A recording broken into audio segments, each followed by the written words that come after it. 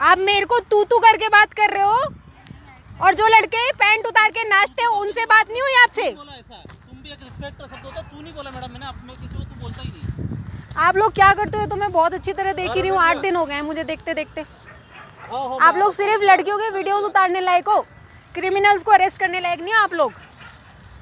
और आप चाहो या नहीं चाहो अरेस्ट आपको करना पड़ेगा। अभी अभी ऑटो से आए नीचे बोले पानी भी नहीं पिया मैंने बोला जा उसको पानी ला के दे वो भी रो रही थी मैंने बोला पानी नहीं जैसे ये तो ये ये ये इधर गई थी क्या मैडम? अरे मैडम नहीं जाती वो लोग भी हॉस्पिटल से बोलते क्या बोलते हैं? हाँ ये भी बोलते और दिन मेरे को मेरे सामने बोला था चड्डा वो चड्डा। और मेरे यहाँ घर वाला गड्ढा खोद रहा था वो चले गया मैं खड़ी हुई थी वो देखी ये छत पे से नहीं ये जो मकान दिख रहा है ना बीच में खड़े हो। कमाल है